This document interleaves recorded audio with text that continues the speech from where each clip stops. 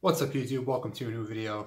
This video is long overdue. Uh, I already did my videos on the first semester of grad school and the second semester of grad school, and I already finished my third semester in the fall, last fall.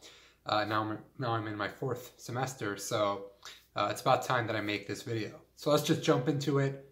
What courses did I take? What am I teaching or what did I teach? And then what happened on the research front. All right, so let's start with the courses. So I already told you what I was going to take in a separate video. Uh, now I just want to review uh, the courses, tell you what I learned and how they went. So the first one was machine learning, uh, which was a graduate level course on machine learning, but it was still an introduction. We went through uh, k-nearest neighbors, naive Bayes, support vector machines, uh, all the basics of machine learning. We went through deep learning, we went through convolutional neural networks, uh, we did some principal component analysis. Basically everything in machine learning was in this course and there was a homework portion which was sort of half theory, half uh, applications in Python and some PyTorch, uh, which is a library for machine learning. There was also a final project where you would form a group with some peers of yours and then you would do a project on either an implementation track or an application track or a research track. So in my group, uh, I worked with my physicist friends uh, in my cohort. We decided to implement a technique that we read in a paper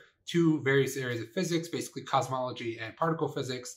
And so at the end of the semester, we submitted our final project and it turns out that the instructors actually really liked it and they asked us if they could show it to future students, which was um, really nice to, to see. All right, so the second course was Particle Physics 2. Uh, and here we learned about quantum chromodynamics, which is the theory of the interactions between quarks and gluons via the, star, the strong force. And we basically learned about factorization and uh, at what energy scales or time scales are you allowed to, say, probe a nucleus. Uh, because, so if you look at the naive picture of, say, a proton, then you have three quarks and they're bound together by gluons. But really, each quark uh, is emitting other gluons, and these gluons are sort of splitting into more quarks, and those quarks are splitting into more gluons. So you have basically a whole mess of quarks and gluons uh, inside of a proton, inside of a neutron. So it turns out that protons or neutrons are really much more complicated than what they depict them in textbooks. And then we also learned about how to deal with next to leading order corrections of a particular perturbative process. So it turns out, like I've mentioned several times, is that if you do quantum field theory, you end up with infinities popping up all over the place.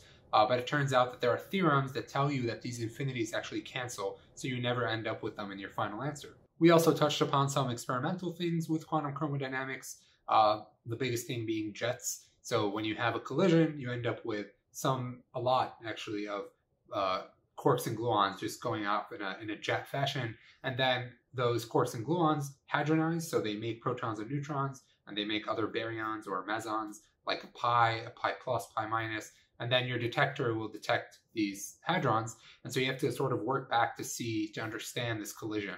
The second main topic in particle physics was neutrino physics, and here we touched upon Majorana versus Dirac neutrinos, uh, why both are possible in theory, um, and what the differences between them are. What, what sort of different predictions do they end up giving you?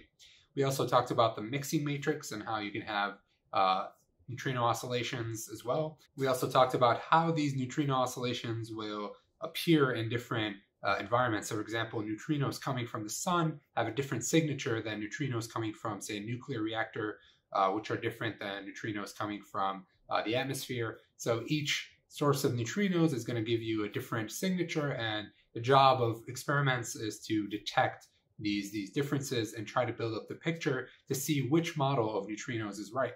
So overall, I think both of these classes were pretty, pretty amazing because they're uh, fundamental to my research and I actually learned quite a lot in both of them. So on the machine learning front, um, I learned, I learned, you know, basically everything.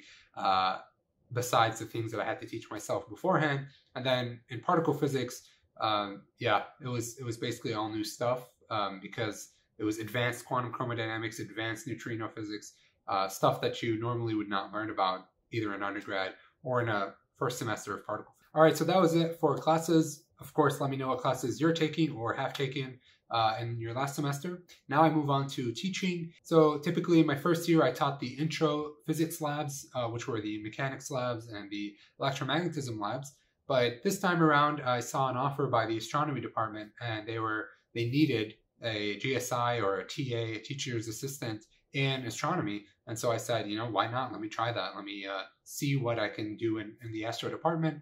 So I did end up teaching astronomy, and I noticed that it was uh, a lot more chill to teach in the astronomy department than it was to teach the intro physics labs. Uh, it was just much easier to grade things. Um, the labs were easier to deal with. So overall, I really enjoyed teaching in the astro department uh, compared to teaching the intro labs in physics. But now that I'm a second year, it means my first year fellowship is over, which means I have to teach 20 hours a week instead of uh, 10 hours a week, which was the usual for my first year. That means a lot of my time is just going to go into grading a lot of labs or a lot of homework problems, which honestly sucks, sucks a lot. Uh, but you know, you got to get paid somehow. And in fact, uh, I really like teaching in the astro department. That right now I'm, I'm also teaching in the astro department, uh, which I, I think is going pretty well.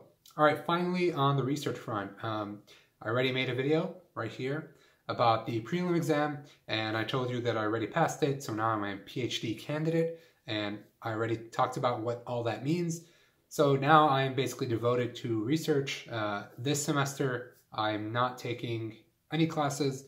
In fact, I'm mostly devoted to teaching and research, and so hopefully I can get a lot more done uh, in, this, in this semester. So that's it for this video. Tell me how your semesters were. Tell me what courses you took. Uh, if you had to teach, what were you teaching? Um, if you were learning something new, if you're doing research, if you're applying to REUs and stuff like that, uh, maybe you're getting accepted to grad schools right now. Please let me know in the comments, and I'll see you next time.